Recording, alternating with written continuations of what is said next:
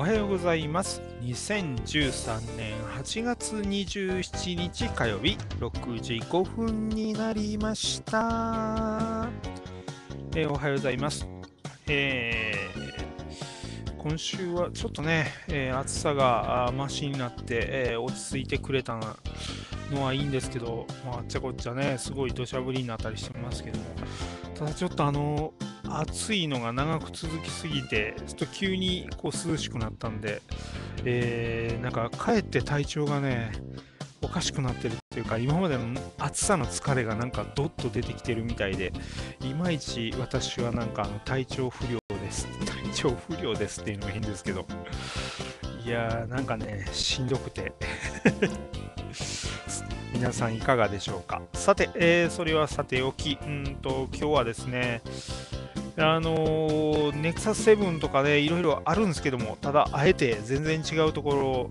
扱ってみ、あのニュースピックアップしました。えーこちら、えールミックス外装デザイン公募、クラウドソーシング、ランサーズで、ということで、うんと、ルミックスってパナソニックのあのデジカメですね、それのあのデザインのを募集すると。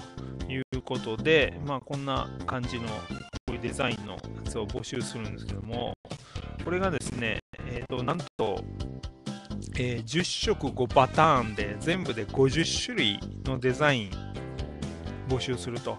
で、それをですね、このクラウドソーシングランサーズっていうのがあるんですけども、実際のランサーズの画面はこちらですね。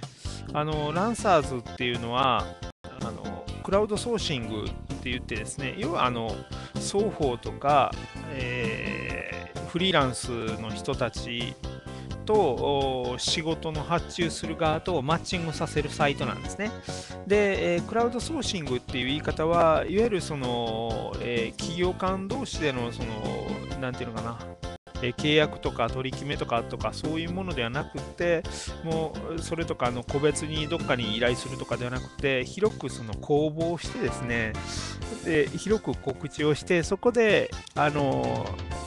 やりますよっていう人が手を挙げてそれで、えー、と制約して仕事を発注すると。だから要はまあクラウド的にこうねソーシャルというかクラウドというか、えーそういうのを使って、仕事とその仕事できる人とのマッチングをしていくというサイトなんですね。で、まあ、非常にそのクラウドソーシングっていうのはこれから面白いスタイルになってくるんですけれども、ただ今回のね、今回のというか、ぶっちゃけ、えー私、ランサーズの動きちょっとね、怪しいなと、怪しいっていうのは別にあのやってることがまずいというわけではなくて、クラウドソーシングの考え方自体とちょっとね、ずれてきてるようなのをね、最初からすごく感じてるんですね。で、がですね、あの、デザイン募集なんですけれども、で、仕事としてこういう仕事を発注しますと。で、なので受ける人手を挙げてくださいというか、まあ、コンペ形式と言われるやつなんで、提案をどんどん出して、その中から企業の方が、うん、これがいいよねっていうのを選んで、その人に、まあ、あの、1パターンにつき1万円を払うということなんですね。で、まずですね、そのまあ、今回50パターンもあるからっていうのかもしんないんですけども、あの50パターンバラバラのデザインが集まってくるっていうのは、果たして、えーデジカメの販売戦略から考えるとこれは正しいのかっていうのはすごい疑問なんですよね。で、それと1パターン1万円っていう値段、だから50パターン書いたら50万円ってなんかすごそうですけれども、だけど1パターン1万円ってそんな大してねデザイン料としてはえ？っていうぐらい私は安いんじゃないのっていう感じなんですよね。1パターン1万円、えーしかもパナソニックのデジカメのデザインでしょ？ねえなんとなくそのデザイナーに対して、えーこういう金額で振るってなんかねえそうなのかいなみたいな感じでちょっとこれは私の感覚では、えーデザインを募集と言いながらなんとなくそのなんかあのイベント的にやってる、うん、その広くデザインを募集しますみたいな、なんかあの、えー、公的機関とかが、なんかいろいろありましたね、地域、あのゆるキャラのデザイン募集みたいな公募して、で、その中からあの1等の方には賞金いくらいくらと、えー、その地域の、なんかゆるキャラのその地域の特産品、を検証でプレゼントみたいな、懸賞金みたいに見えるんですよね、どう見ても。うん、なんかそのコンペという形式を取りながらですね、えー、なんてことはない公募して、で、えー、入賞したら、入賞というか、入賞金が、えー、1万円と。いうそれをですねやってるようなものに見えて、まあ、要は新たなこれは宣伝戦略だなと思えるんですねだから金額としてはトータル50万って大きいように見えて1パターン1万円って考えるとえそんなもんでデジカメのデザインを募集するっていうことがうーんっていう感じなんですよね。で本来ならば戦略で考えると全体のそのデザインを統一感を持たせるために1人のデザイナーとかに全部のパターンを発注してで、えー、依頼するっていうのが本来販売することを考えるとなんですけどもそうではなくてこれはなんとなくそういうそのイベント的に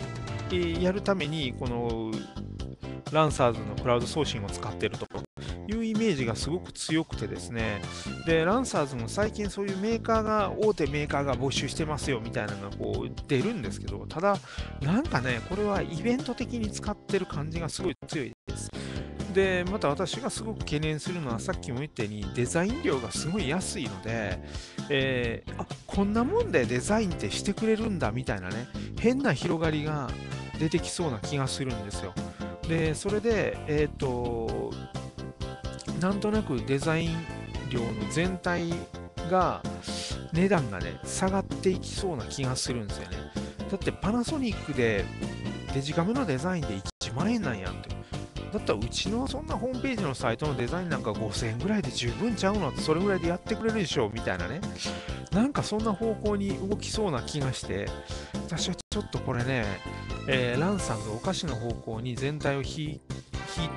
ていてるというか引っ張ってってるような気がするんですよねでしかもこの1パターン1万円総額50万円ですけれどもこれはパナがランサーズへ支払う金額であって実際、えー、そのもらえる金額はここからシステム利用料とかを引かれるので実は1万円ではないです。え何割や何割とか何パーセントやったかなちょっと忘れたんですけども、えー、引かれるの多分9000 9000円とか9500円とか多分それぐらいになるかと思うんですよね。うーんだからこれは果たしてソーシャル、ソーシャルとかクラウドソーシングの正しい使い方なのかなと。多分こういう使い方が一般化してくると、単にその広く公募ってやるよりも、うんこういうところに投げた方が、まあ、それなりにデザイナーの人たちが登録してますから、あのデータ形式が、これのね、条件なんかでも、データ形式 JPEG もしくは JPEG と AI って書いてあるんですけど、こういうのは説明しなくていいから、発注する側は楽ですよね。えー、一般に公募する前だったら、あの、JPEG、AI、AI ってイラストレーターですけども、依頼でってる人っていうのがそう簡単にいるわけじゃないので、ね、大体デザイナーさんしか持ってないですから、だからそういう意味ではこういうところで頼むと、こういうのも説明しなくていいですね。うん、JPEG AI っていうふうに納品ファイルでで、サイズもこれにしてくれとかっていうこと細かに指定しとけば、デザイナーさんはその辺分かってるんで、えー、受け取る側もすごい楽ですよね。なので、そういう意味で言うと、考えると、この50万円、トータル50万円で、って考えたらね、なんかむちゃくちゃ安い仕事っていう風に見えたんですよ。で、要は、えー、一流のデザイナーに発注するよりもイベント的にして、えー、その安い金額でもいいから数出して、でもって、えー、これで採用されるとですね、あのデザイナーさんとかが採用されましたみたいなんで、ブログに書いたりいろいろするわけじゃないですか。で、そこでの告知効果の方がでかいと踏んだんじゃないかなと。うん。か、パナソニックがそう踏んだのか、えー、どっかがそのそういうふうな提案をして、えー、押し通したのかあよくわからないですけども、まあ、なんとなくそのデジカメってね、もうだんだんこう、いわゆるコンパクトデジカメっていうのは、あの売り方がすごいね、今、苦労してるわけですよね。そんなにデジタル一眼レフとかミラーレスの一眼レフとかにどんどん持ってかれてるので、で安いのはどっちかというと、もう携帯とか、携帯とかスマホとかね、タブレットとかについてるデジカメの方が性能がどんどん良くなってきてるので、あまりこう、売れないんですよ。だから、新たな売り方として、こういう方法をやり始めたんじゃないかなと。で、これはだから、あのデザインを公募してると言いながらも、新たな販売宣伝戦略になってきたと。で、ランサーズが今後こういう使われ方をしていくとですね、クラウドソーシングっていうことに対する考え方をどんどんこうみんなが間違っていくかなと。で、それでまた下手にここで安い金額でこういうところって頼めるんだみたいなイメージがつくとですね、えー、その本当のできる人というかフリーランスとかえー、双方でやってる人たちの足を引っ張ることになりかねないなというのはちょっとね、これ気になりました。で、ますますそういうところのいろんな意味で二極化が進んでいくんじゃないかなと。えー、ちょっとこれはいい傾向なのかなっていうのはちょっと気になってます。えー、ちょっと今回長くました え、私もフリーランスでやってる人間なんで、こういうのを見ると、ちょっとね、敏感に反応しちゃいましたけど。さて、えー、これどうなるか分かりませんが、今後こういうことになってくるのか、うんどうなんでしょうね。